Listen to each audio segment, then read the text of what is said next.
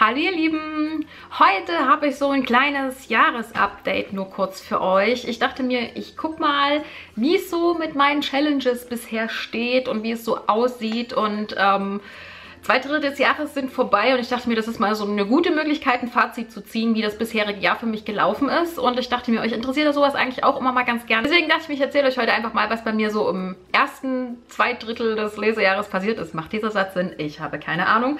Und äh, ja, darum soll es heute gehen. Und ich wünsche euch wie immer viel Spaß beim Video. Mein Zwischenstand, wie sieht es dieses Jahr bisher bei mir aus? Ich hatte mir wieder die Goodreads Challenge gesetzt mit 100 Büchern und ich habe aktuell 82 von diesen 100 Büchern gelesen und mein Handy klingelt. Verdammt, Moment. Jo, jetzt hat die Mutti gerade angerufen und äh, Milo ist auch geflüchtet in der Zwischenzeit. Der liegt jetzt hier vorne in der Sonne. Und äh, ja, ich war gerade bei meinen Challenges stehen geblieben. Ich hatte euch gerade gesagt, dass ich aktuell 82 von meinen 100 Büchern auf der Goodreads Challenge gelesen habe. Es sieht also sehr, sehr gut aus für die restlichen 18 Bücher dieses Jahr. Ich denke, die sollte ich auf jeden Fall noch schaffen. Und ähm, ja, ich denke, dass ich diese Challenge wieder schaffen werde. Woohoo! Also bei der Goodreads Challenge sieht es dieses Jahr echt gut aus mit 82 von 100 Büchern. Ich denke, die 18 Bücher kriege ich in den nächsten vier Monaten noch gelesen. Und äh, ja, was die anderen Challenges betraf, ich hatte noch die 18 für 18 Challenge. Ich habe gerade mal geguckt, ich habe davon fünf Bücher aktuell gelesen, ähm, von diesen 18 für 18. Irgendwie ist das nicht meine Challenge. Ich habe die 2017 auch schon versaubeutelt. Also ich weiß nicht, es, es, klappt bei mir einfach nicht mehr, das vorzulesen, diese Bücher zu lesen, die auf diesem Zettel stehen. Obwohl das Bücher sind, die ich schon lange lesen möchte, aber vielleicht schaffe ich ja zwei, drei Bücher doch noch zu lesen von dieser Challenge. Ähm, ich versuche es auf jeden Fall, dass ich vielleicht wenigstens die Hälfte geschafft habe. Und äh, ja, also da sieht es momentan nicht ganz so gut aus.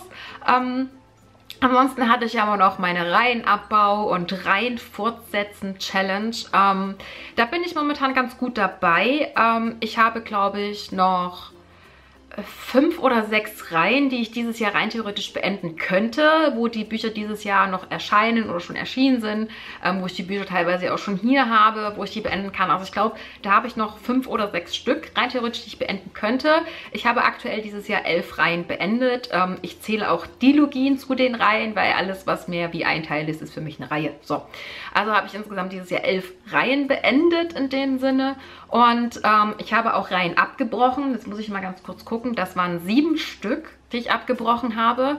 Ähm, das heißt, da habe ich die ersten Teile gelesen und habe mich dann entschieden, nicht weiterzulesen. Und äh, ja, also sieben Stück, das ist eigentlich auch schon eine ganze Menge. Ähm, Bücher habe ich auch einige abgebrochen, dann entsprechend zu den Reihen halt ähm, habe ich auch noch ein paar Bücher abgebrochen und ähm, ja, wo ich einfach sage, das war nichts für mich, aber ich finde, das hält sich noch im Rahmen mit äh, sieben Reihen.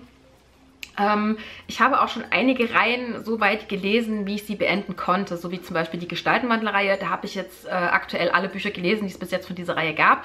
Da kommt im Januar der neue Teil und den werde ich dann auf jeden Fall auch lesen. Also was das betrifft, bin ich auch auf gutem Stand. Ähm, da habe ich auch noch ein paar, die ich lesen könnte. Ich denke, das werden so auch noch so zwischen 8 und 10 sein. Aber ähm, also 8 und 10 Reihen, nicht Bücher, ne? wir reden hier von Reihen, ähm, die ich lesen könnte. Aber ich äh, versuche da echt dran zu bleiben und ich bin da auch echt äh, dran, wenn ich Reihen anfange, die dann auch schnellstmöglich fortzusetzen. Ähm, ich werde jetzt auf jeden Fall ja noch ähm, das Gold der Krähen lesen, damit wäre diese Reihe ja auch beendet. Dann lese ich jetzt auf immer gefangen, dann wäre diese Reihe auch beendet. Dann habe ich hier noch liegen Wie die Erde um die Sonne, das ist ja auch der letzte Teil dieser Romance Elements Reihe, dann hätte ich diese Reihe auch beendet.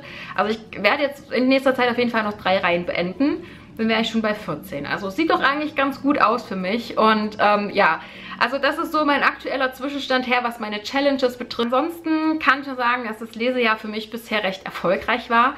Ich muss aber sagen, ich hatte noch nicht das Buch, wo ich sage, das ist das Jahreshighlight für mich. Das habe ich bis jetzt leider noch nicht gelesen. Dieses Buch vermisse ich noch. Aber es kommt Ende September von C.L. Wilson, ähm, der die, nee, die Wellen singen, wenn der Sturm ruft oder sowas.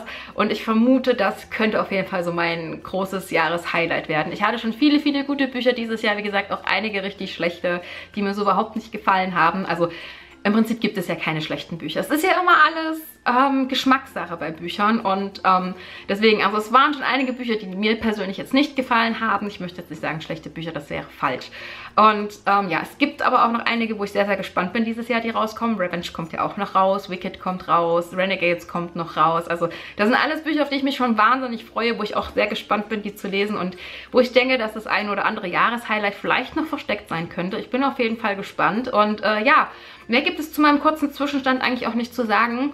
Ich überlege, ob ich euch gerade noch irgendwas erzählen könnte. Ich glaube nicht. Ich glaube, das war es so im Großen und Ganzen, weil andere Challenges habe ich ja nicht gemacht, weil es macht bei mir einfach keinen Sinn mit den Challenges. Ich ist jetzt wieder bei der 18 für 18 Challenge. Das bringt einfach nichts. Ähm, ich kann keine vorgegebenen Bücher lesen. Ich, ich schaffe das nicht. Ich kriege das nicht auf die Reihe. Und auch Bücher zu bestimmten Themen zu lesen, ich kriege es einfach nicht hin. Das ist nicht meins. So, Egal, so ist das jetzt halt. Und äh, ja, wie sieht es denn bei euch bisher aus? Wie waren denn eure ersten zwei Drittel des Lesejahres? Waren sie auch schon relativ erfolgreich oder sagt ihr so, na, dieses Jahr läuft es irgendwie so gar nicht? Habt ihr euch Challenges gesetzt? Wie sieht es da aus? Schreibt mir eure Meinungen, Antworten, Informationen gerne unten in die Kommentare. Ich freue mich drauf. Ansonsten bedanke ich mich immer fürs Gucken, wünsche euch noch eine schöne Woche und wir sehen uns beim nächsten Mal wieder. Bis dann, macht's gut. Tschüss.